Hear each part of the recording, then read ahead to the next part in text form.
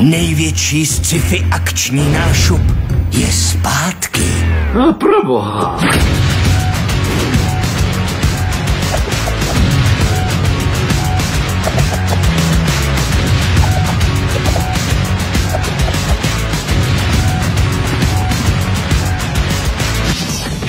Prostě a jednoduše Matrix v pátek večír.